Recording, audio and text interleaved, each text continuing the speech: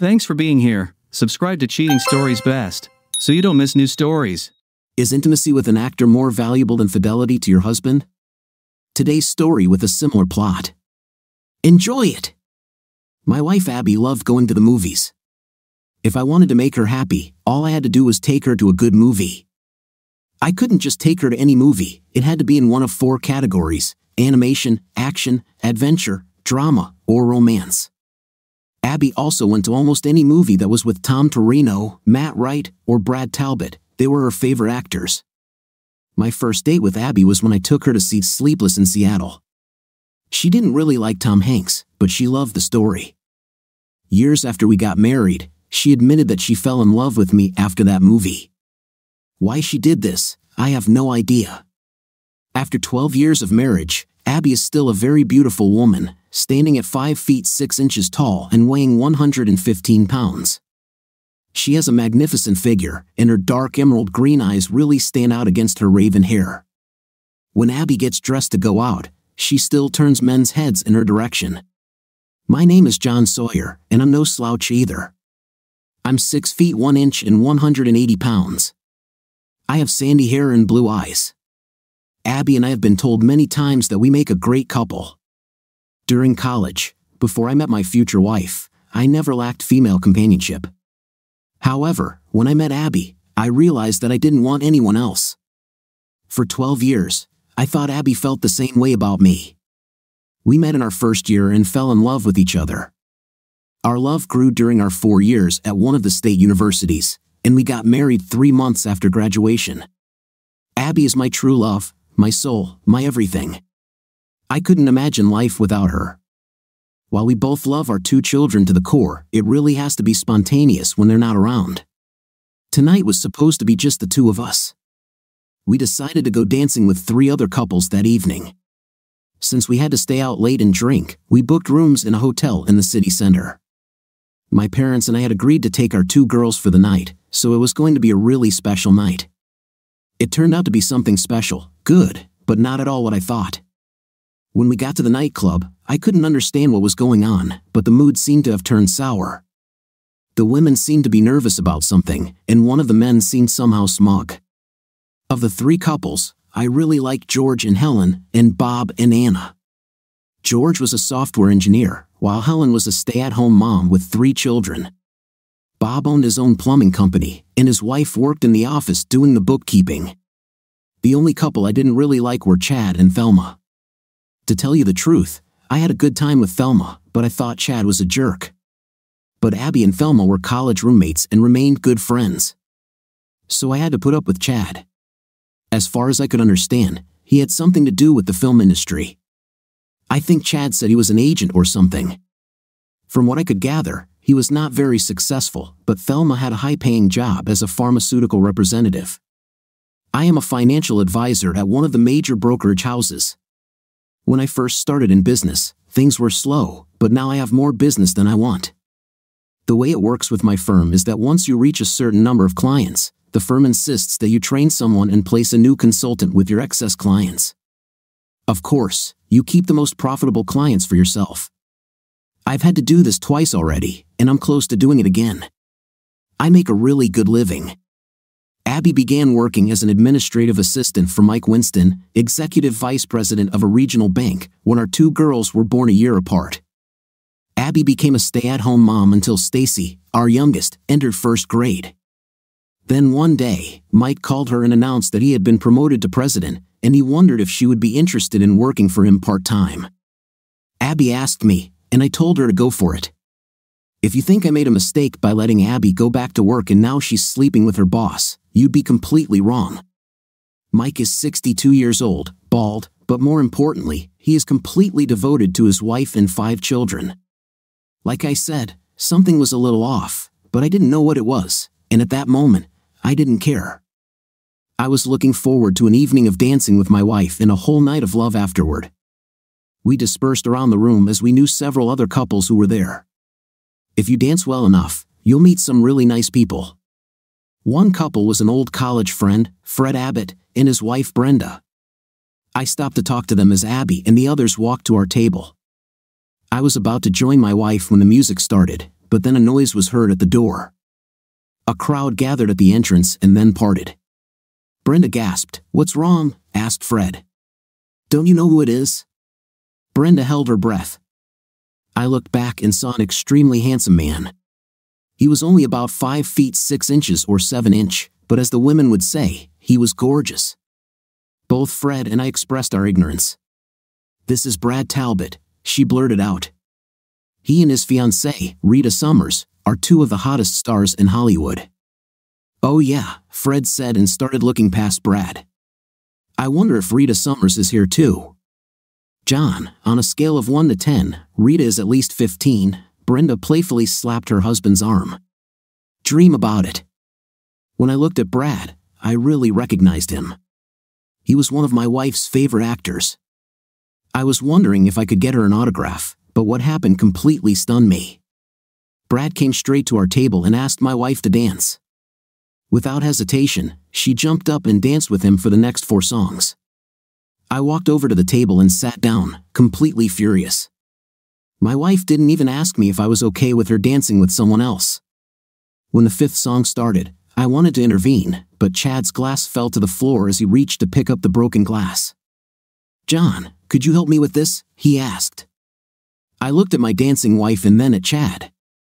I should have just gone to my wife, but instead, I followed Chad into the men's room. However, when I got there, the cut was very minor. However, I helped him clean it and bandage it with a paper towel. When I returned to the table, I only caught a glimpse of my wife leaving with Brad.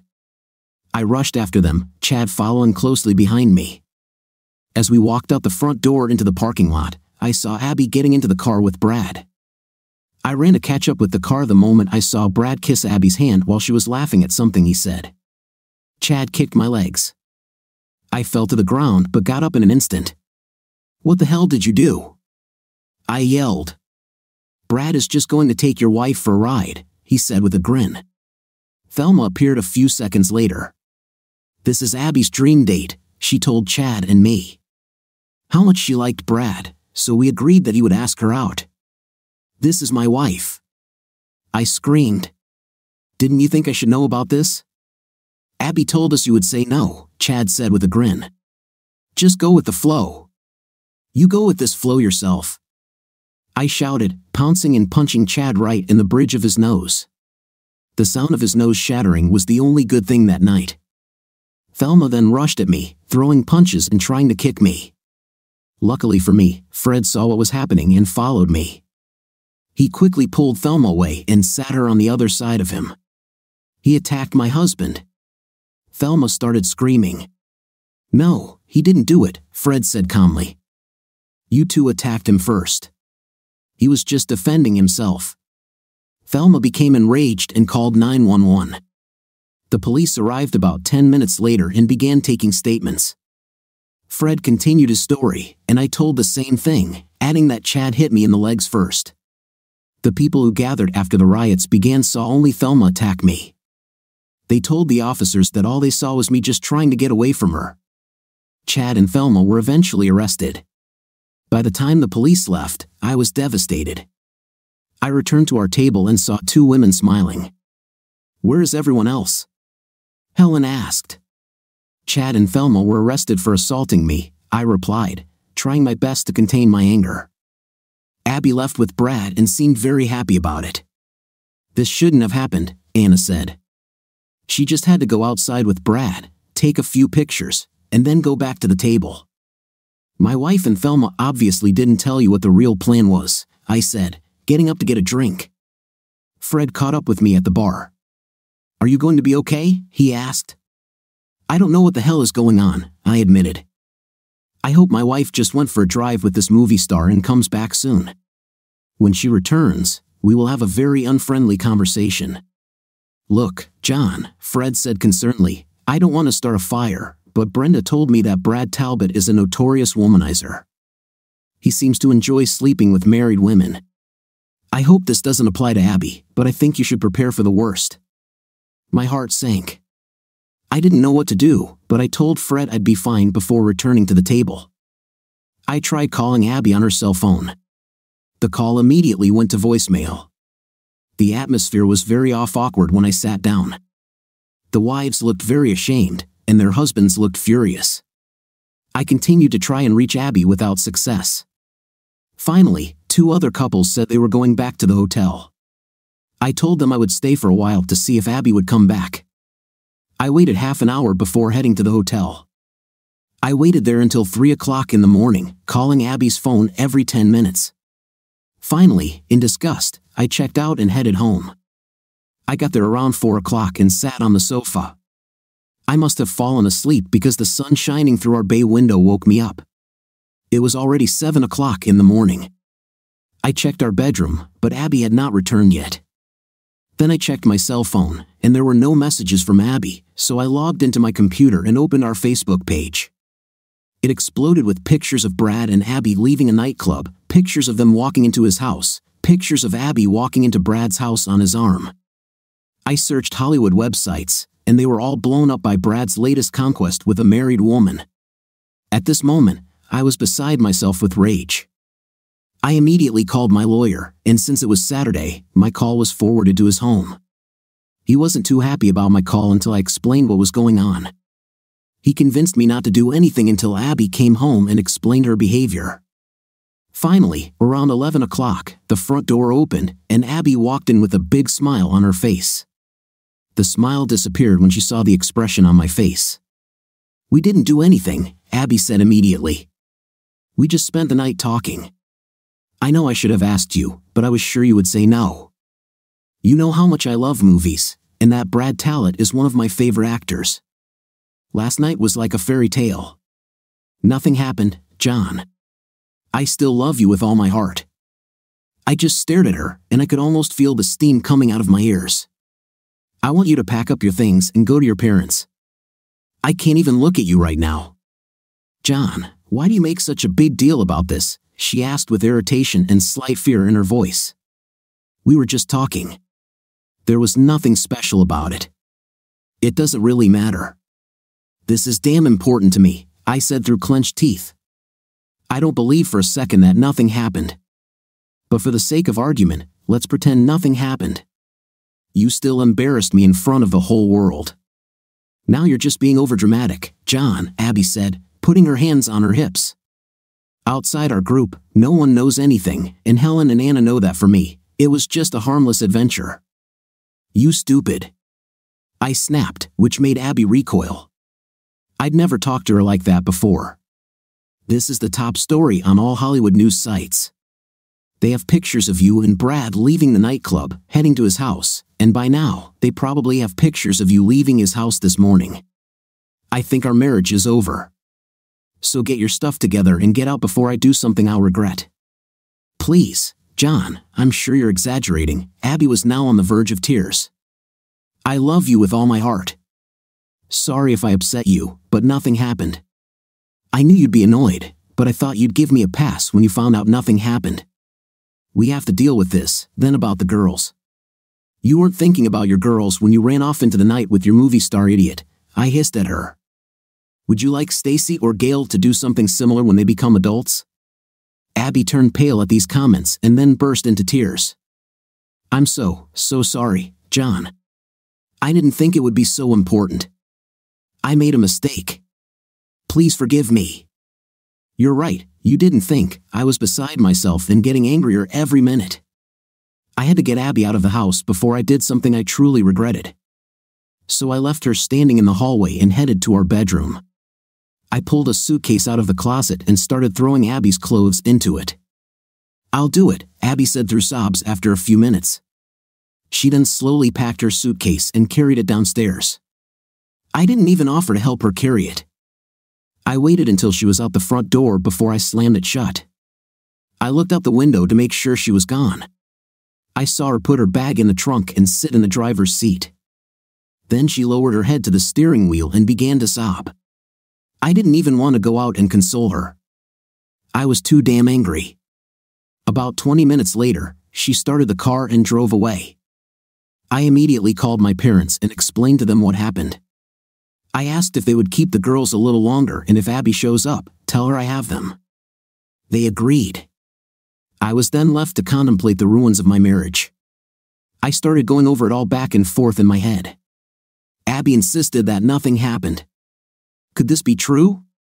I didn't know, but my gut told me she was lying. Can I accept what she did and try to move on?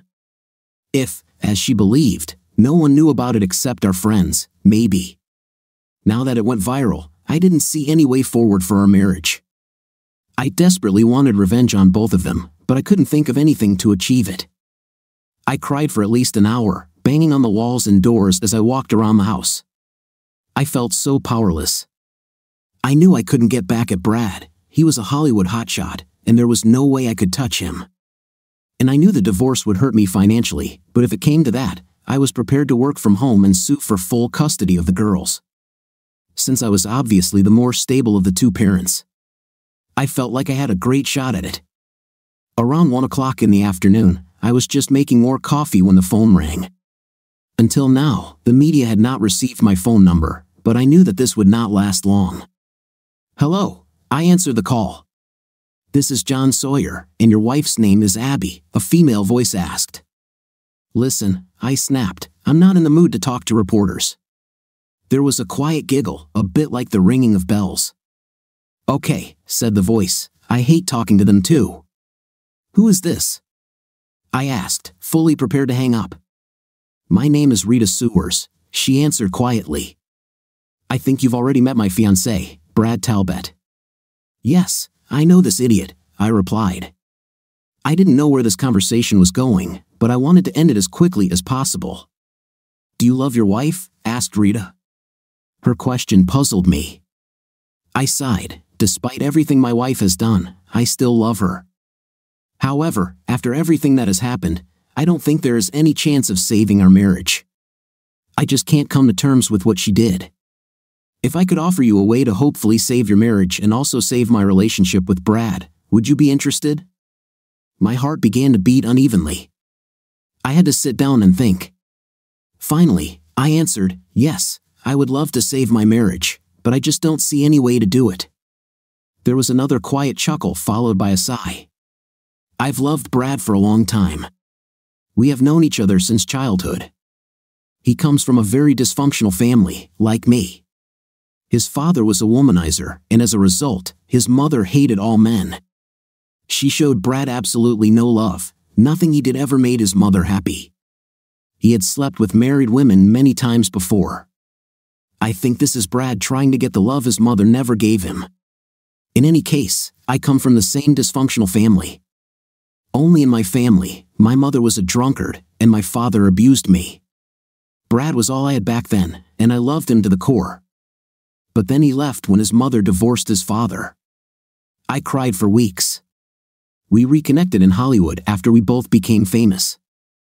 I had heard stories about Brad and was very wary of getting into a relationship with him. But as soon as we saw each other, we fell in love again. And when we got engaged, he promised me that relationships with married women were left behind. When I asked him about your wife, he stated that nothing had happened. I have no way of proving it one way or the other, but right now, the thought of losing Brad is driving me crazy. Yes, my wife also told me that nothing happened, I admitted, and the thought of losing her drives me crazy too. Do you believe her? No, I don't know, and I don't know either. I know Brad, and it would be completely out of character for him to bring a woman into his home and do nothing. But I suppose stranger things have happened. However, I am operating under the assumption that something actually happened. So I want him to understand the pain he caused me, and I want your wife to understand the same. I don't know if it will be enough, but I hope that if we succeed, we can move forward with our couples. I'm with you for now, I said. How are you going to achieve this? I'm not going to do this alone, We'll do it together, Rita replied. You'll have to spell it out because I don't see how I can do anything. First things first, she said, to get the most out of what I want to do, I need you to slowly open a dialogue with your wife towards a possible reconciliation. I'm going to do the same with Brad. I'm not talking to him right now. I'd say in two to three weeks, I'll start talking to Brad, and you should let your wife move in with you around the same time. I'll let you know when you will still keep your distance, and you should not sleep with her. Why would I let her back into the house? I asked. Because as soon as she gets home, we will have dinner together, and I will explain my plan. I still have some parts of my plan that I want to think about, Rita explained. I still wasn't sure about it, but I didn't have any ideas, so I decided to go with it. The first thing I did was call my parents and tell them that I would pick up the girls in half an hour. I then called my administrative assistant, Joni, and told her that I would be working from home for the next week or so. I could tell from her voice that she already knew the story about Brad and my Abby. She was very helpful and told me to let her know if there was anything she could do to help. Finally, I called Abby's parents at home. Abby's father answered the phone and was very apologetic. He had seen some of the reports on the news and was ashamed. But he was extremely relieved when I asked to speak to Abby. She burst into tears over the phone, saying how sorry she was and how she wanted to come home so we could talk about it. Listen, Abby, I said calmly, I think it would be good for us to be apart for a while. Next week, I'm going to work from home. You will have to work from Monday to Wednesday. Why don't you pick up the girls on Wednesday night, then we'll talk about everything. I plan to pick up the girls on Sunday evening. Please, John, she cried. I want to go home now. I want us to be a family again. You don't want us to be a family anymore. I thought we were family, I said sadly, but then you made me doubt everything I thought we had. I'll see you on Wednesday evening, say around 5. I picked up the girls and told them that mom would be spending a few days with their grandparents. They had a lot of questions about why, but the topic dropped when we headed to McDonald's. The girls ran around playing games for two or three hours, and then we had dinner there. The phone rang just as we got home. I looked at the caller ID but didn't recognize it. When I responded, the reporter asked me if I wanted to comment on my wife's affair with Brad Talbot. I hung up the phone after that. The phone rang every five minutes. I finally got off the hook and just left him around six. My cell phone rang. It was Abby. Why don't you answer phone calls? She immediately demanded. Because they were just reporters who wanted me to comment on your affair with Brad Talbot. There's no romance, Abby growled. I told you nothing happened. Well, then you need to tell the rest of the world about it because, for some reason, they don't believe it, I said sarcastically. There was dead silence on the other end of the line. Abby then asked if she could talk to the girls, so I put them on the line and sat down, listening to that side of the conversation. They chatted about their day at McDonald's. Finally, Stacy handed me the phone and told me that my mom wanted to talk to me. Abby again begged to be allowed to return home. I told her I needed more time. On Wednesday night, Abby was there around 4 instead of 5. I was a little annoyed that she had ignored my instructions, but I decided to leave everything as it is. The girls were happy to see her, and Abby showered them with kisses. When she came towards me to kiss me, I backed away. She looked at me with pain and irritation. So, this is how it will be now, she said irritably. If that's the case, maybe I should just take the girls and leave. If that's what you want to do, I said calmly and walked away. No, John, Abby said quickly, with slight panic in her voice. I think we should sit down and talk about our problems. The girls went to pack their overnight bags because Abby told them they would be visiting their grandparents. What are we going to do? Abby asked after an awkward silence. I wish I knew, I replied. Right now, I am hurt, humiliated, and angry. Any suggestions on how I can get rid of the big three? All I can do is apologize, Abby said, shaking slightly. I made a huge mistake. Please, please forgive me. I do not want to lose you, Abby. It's not that simple, I said, leaning back and crossing my arms over my chest. The whole world looks at me like I'm a cuckold. My wife cheated on me, and I didn't do anything about it. I never wanted to hurt you, Abby cried. I was so excited to meet Brad Talbot and see his home. I knew you'd be a little annoyed with me, but I never thought it would turn out to be such a mess. Abby, I want you to know that I sincerely hope that we can find a way through this, I said, and her face brightened for a moment. But I also want you to know that I have consulted with an attorney. If this turns into a divorce, I want you to know that I will seek full custody of the girls. I think you should hire your own lawyer. I don't want a divorce, she cried, and I won't let you take my girls from me. Abby, I'm not saying we'll get divorced, but I think we need to think about the worst case scenario, I said, and I'm not trying to hurt you, I lied. But I think you need to keep in mind that with your recent notoriety, the court may look very favorably on my petition for custody. Please don't do this, Abby begged. I will do everything so that we can be together again. Why don't we just continue talking? I suggested. In fact, why don't we have lunch next Sunday when you hand the girls over to me? Suppose I decide to keep the girls with me, she said with a flash of anger in her voice. I don't like passing them back and forth. I don't think it's good for them. If you do this, then I will have no choice but to begin divorce proceedings immediately. And remember, it was you who tarnished your name. I believe that the court will not look favorably on an adulteress as a mother of impressionable girls, I warned. At that moment, all the fight drained out of Abby. I will not do it. I don't want a divorce. At the beginning of the second week, I returned to my office. My assistants were very sympathetic to this. Some of my clients, not so many, two in particular, thought it was really funny and started making fun of me. I politely asked them to drop the topic, but they continued to tease me. I've had enough. I told them I was ending our relationship and transferring their portfolios to another office. Even though they both tried to apologize, I told them that our relationship was over. Word got back to my clients, and there was no more talk about my wife and Brad.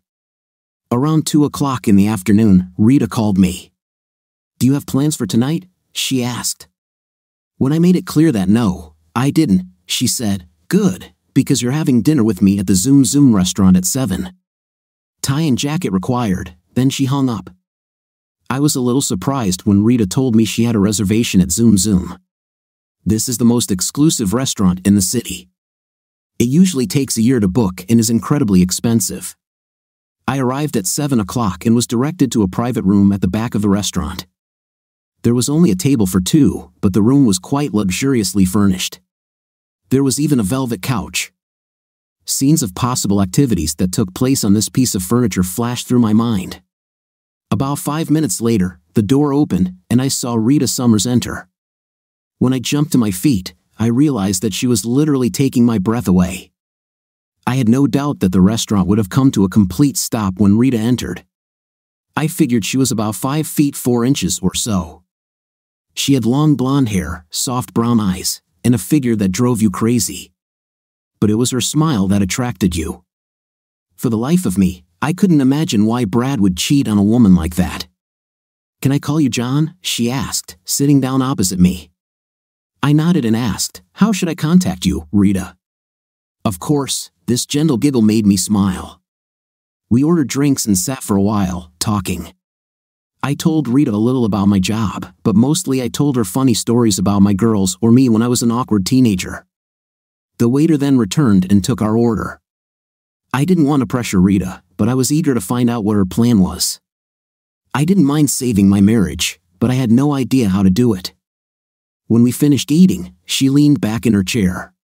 First of all, John, Rita said with a sad smile, that sneaky snake Chad Tompkins organized this whole mess. He fancies himself a film agent, but in reality, he is nothing more than a pimp he sets up gullible men and women to be taken advantage of by movie stars. You wouldn't believe how many people, especially married women, get into bed with movie stars with Chad's help. You're talking to someone who knows this firsthand, I said with a growl. However, I didn't know what exactly Chad's job was.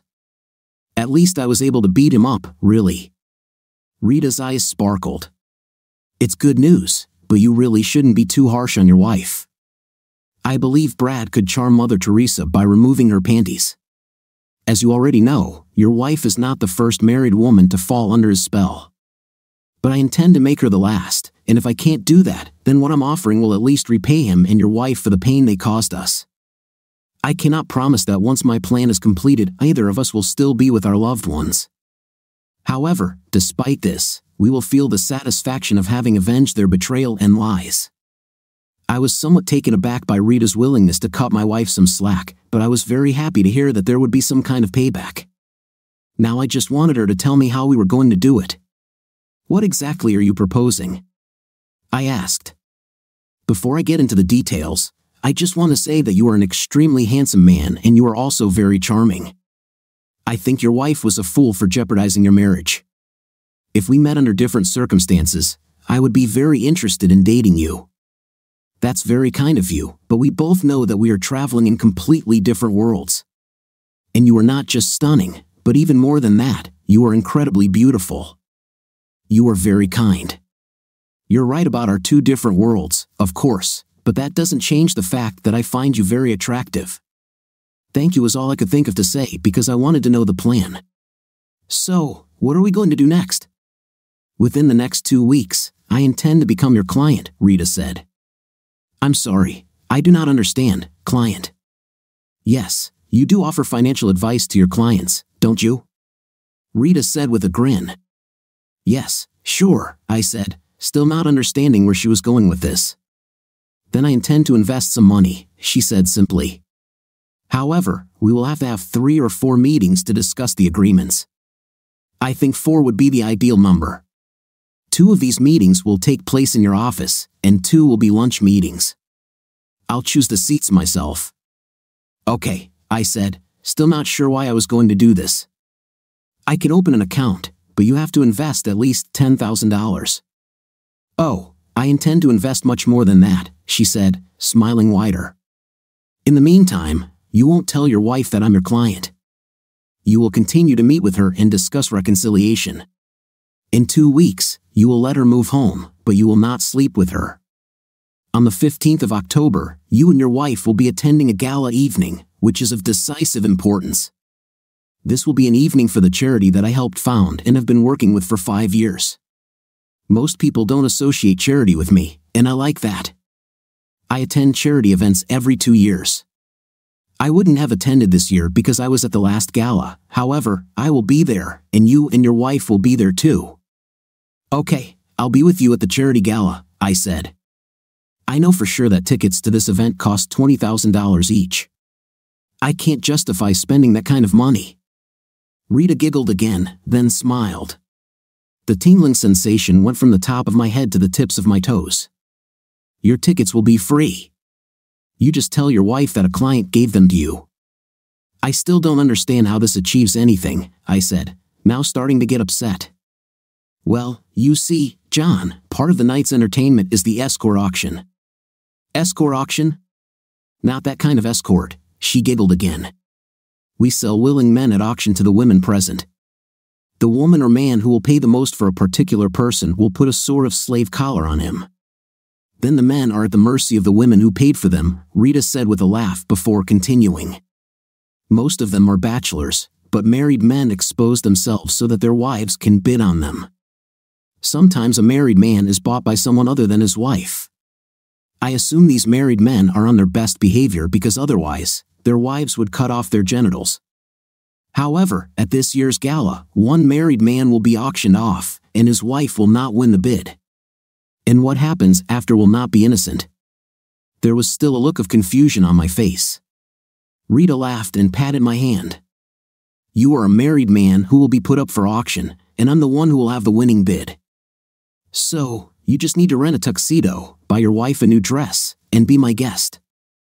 It suddenly dawned on me what Rita had planned, and it was brilliant both Brad and Abby were going to feel what it was like for us.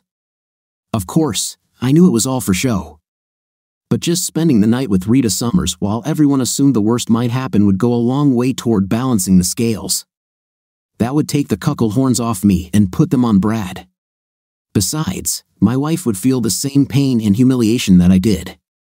Then maybe we could meet with a counselor and put this all behind us. The next few weeks flew by very quickly. I have to say that the first time Rita walked into my office, I thought all the girls there were going to pee their pants. Our lunch meetings took place in very private restaurants. I didn't understand why we held these meetings in secret, everything important could be discussed in my office. Most of the time, we just told each other stories. These were fun lunches, and I learned a lot about Rita and Brad. She really loved him, and she would be devastated if they broke up, but she was willing to leave him if he was going to continue his old behavior. A week before the gala, I allowed Abby to come home. However, I told her that I would sleep in the guest room. She was in pain, but she did not insist. The Wednesday before the gala, I came home with the tickets, and Abby's eyes lit up. She started ranting about all the celebrities that would be there. Then she scolded me for spending that amount of money. It didn't cost me anything, I told her. One of my clients asked me if I could use the tickets. I thought it would be a fun evening. By the way, I think you should buy a new dress, buy something. Abby was floating in the clouds. I almost felt sorry for her, but then I remembered that evening when I thought it would be a magical night for the two of us, only to look like a fool. It's time for her to feel my pain. When we arrived, we found that there were already about 500 people there. When we checked in, there was a table where you could sign up for the auction. I saw a line of men filling out forms. There were five really handsome men in line. So, I turned to Abby. What do you say, Abby? I asked innocently, pointing to the table. This is a charity, and we didn't pay anything for the tickets. What do you say if I sign up, and you can bid on me? Abby giggled, but it wasn't nearly as musical as Rita's. I don't have any money, and I didn't even take my wallet with me because it wouldn't fit in this bag. As per Rita's suggestion, I had cash with me. Here's $1,000. I doubt you'll have to pay more than that. But it's a charity, so offer at least $200. You're worth $11,000 and much, much more, Abby said with a wide smile. I stood in line, and when I got to the registration table, I filled out the form and signed it. I looked at the list, and there were about 18 or 20 guys signed up.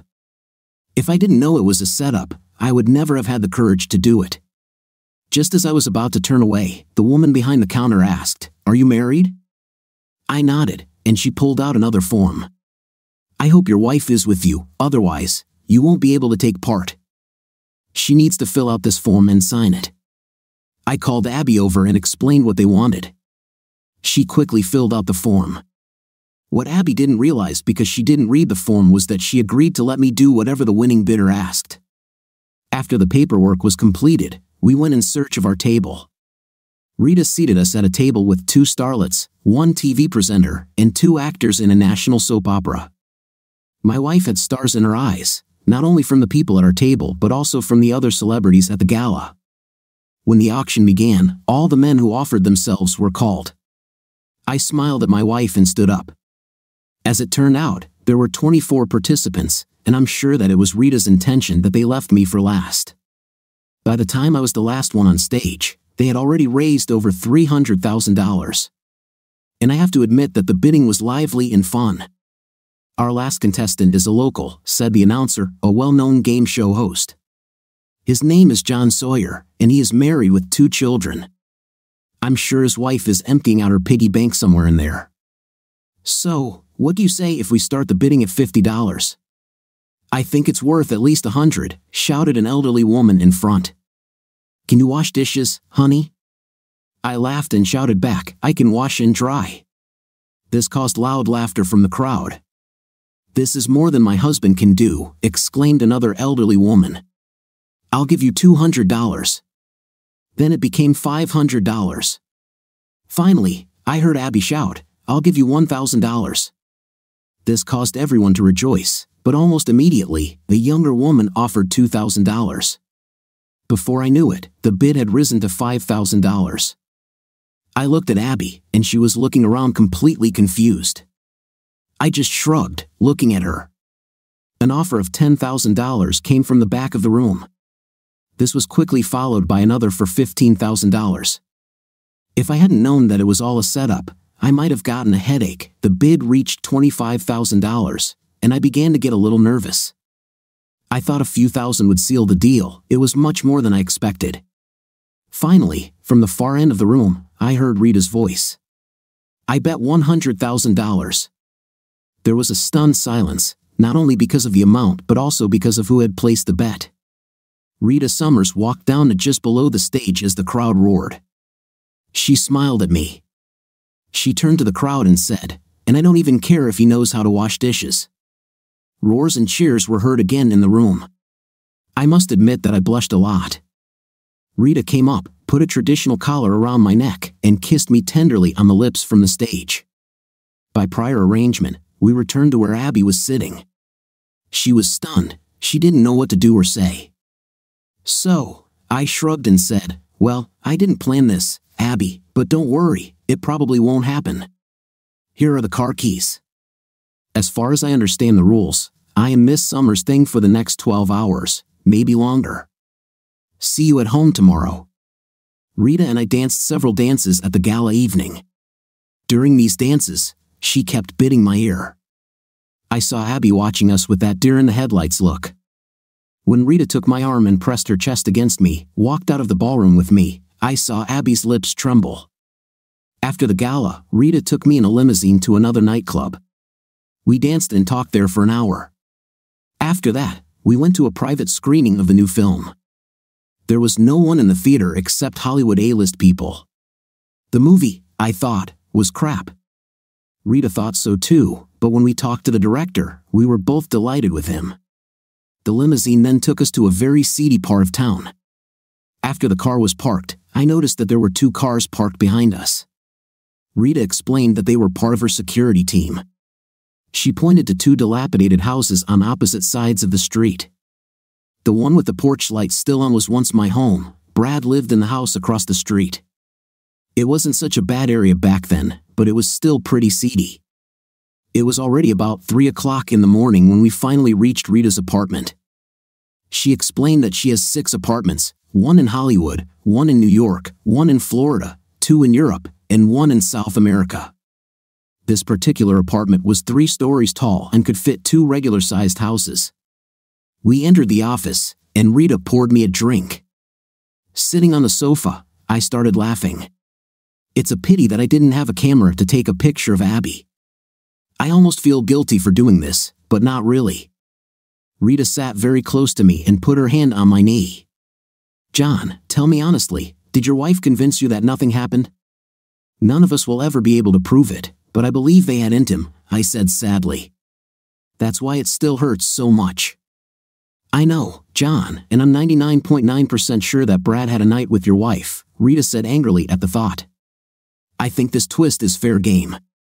With these words, Rita leaned over and kissed me tenderly. I was taken aback by this offer.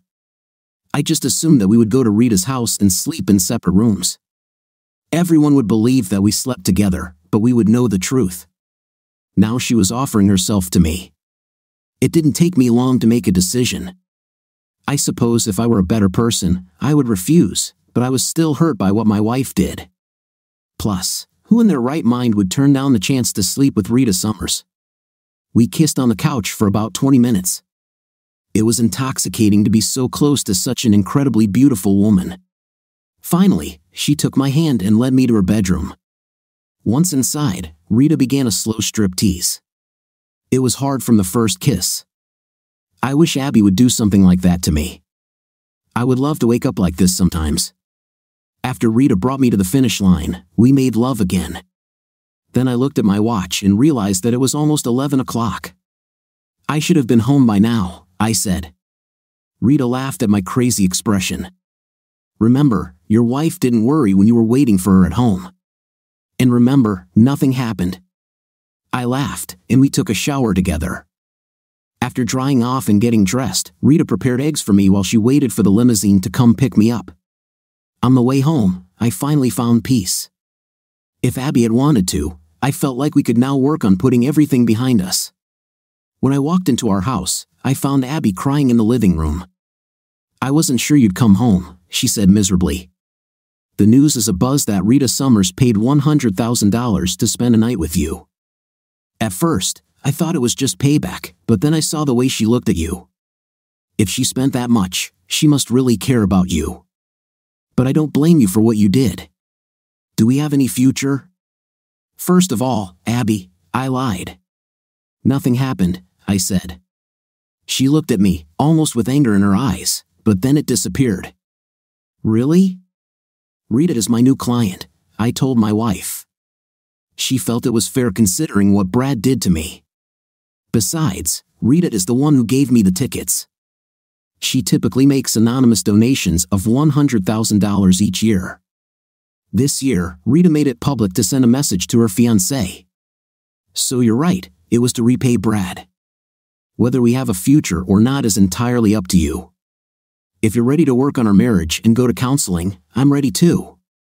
Abby ran into my arms, and I kissed her deeply. Then I took her to our bedroom. I don't know where I found the strength, but we made love twice. I then went back to sleep until my two girls pounced on me around 2 p.m. We had a quiet dinner with the girls, and after they went to bed, Abby and I sat on our patio holding hands. I knew then that we could put the pieces of our marriage back together.